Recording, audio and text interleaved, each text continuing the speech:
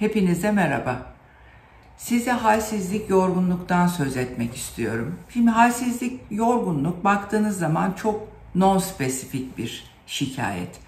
Maalesef ölçülemiyor. Yani D vitamini gibi bir kişinin halsizlik, yorgunluğunun ne olduğunu biz bilemiyoruz. Bu kişinin ifadesi.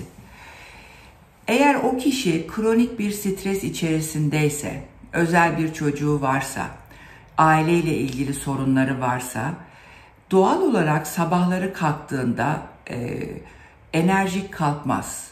Motivasyonu düşüktür. Bu tarz kişiler tabii ki kendilerini halsiz, yorgun hissedebilir. Şimdi bana hasta geldiği zaman tabii ki önümdeki kan tetiklerine bakıyorum. Birincil halsizlik, yorgunluk nedeni demir eksikliğidir. Yani kan sayımında düşüklük yapacak kadar bazen demir eksikliği olabiliyor. Ee, bu kadın hastalarda o zaman soruyorsunuz adetleriniz çok mu yoğun diye. Bazısı çok yoğun ve uzun saat, uzun günler adet gördüğü için sürekli siz ağızdan demir hapı verseniz de belli bir süre sonra düşüyor tabii ki. O zaman tabii kadın doğumun devreye girip bu adet döngüsünü biraz daha makul hale getirecek ilaç veya spiral hormonu spiral gibi e, bir takım tedbirlerin alınması lazım. Çünkü menopoza girene kadar sürekli her ay bol miktarda kanayarak o demir eksikliği hiçbir zaman ilaçla yakalayamayacağınız hale gelir. Birinci neden demir eksikliğidir. İkincisi tabii ki yine temel vitaminlerden D vitamini düşüklüğü olabilir. Bazı hastalarda 4-5 gibi yerlere yapışmış D vitaminiyle karşılaşabiliyoruz. Bu da tabii ki halsizlik, yorgunluk nedenidir. B12 vitamini yine temel vitamindir. E, o da bazen yüzlerde gelip çok çok düşük olabiliyor.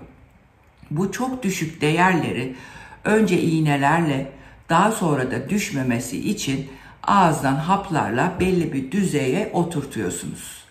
Şimdi tabi bakıyorsunuz tiroid hormonları da önemli. Hasta eğer ağır hipotiroidide ise yani ilaç kullanıyor veya kullanmıyor fakat T4'ü çok düşük.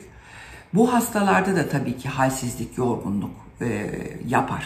Çok net bir şekilde yapar. Bunları e, düzeltiyorsunuz. Ama bazen de hasta geliyor diyelim ki tiroid hormonu da kullanıyor. Hormon değerleri normal. D vitamini, B12, demir bu şikayetleri izah edecek gibi değil. E, o zaman tabii ki başka bir neden arıyorsunuz. Bu kötü beslenme olabilir. İşte bahsettiğim bu sosyal hayatındaki, ev hayatındaki kronik stresler olabilir. Bunları algılamaya çalışıp, öğrenmeye çalışıp ona göre çeşitli bazı özel e, takviyeler, antioksidanlar, aslında kronik yorgunluk içinde belki en çok fayda veren bu antioksidanları serum yoluyla vermek, glutatyonu, yüksek doz C vitaminli, alfa lipoik asidi. Bunlar kronik yorgunluk için e, gerçekten hastaların büyük bir bölümünde bu şikayetleri ortadan kaldırmakta veya minimalize etmektedir. Yani beslenme neden önemli? E, rafine gıdalarla, bol karbonhidratla, börek, çörekleri çok fazla tüketen insanlarda doğal olarak şöyle düşünün. Oksidasyon ürünleri çok fazlalaşır. Yani sobanın külü gibi düşünün bunu. Vücudun kendi mekanizması bu oksidasyon ürünlerini yok etmeye yetmez.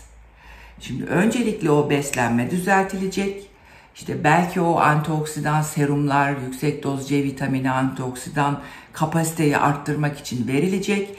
Yani ayakları çamura saplanmış kişinin ayaklarını o çamurdan çıkarıp düz yola e, iteleyip ondan sonra da zaten düzgün beslenmeyle doğal olarak hasta hep o iyilik halini devam ettirebilir.